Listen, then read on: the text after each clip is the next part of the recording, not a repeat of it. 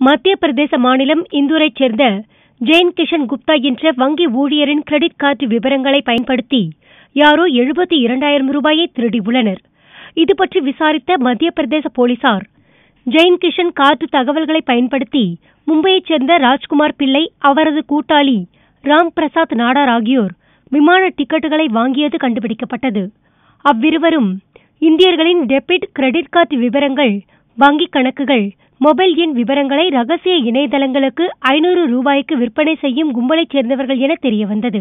இந்த கும்பல் பாகிஸ்தானில் உள்ள லாகூரிலிருந்து செயல்படுவது தெரிய வந்திருப்பது இந்திய வங்கிகளை அதிர்ச்சியடைய வைத்துள்ளது.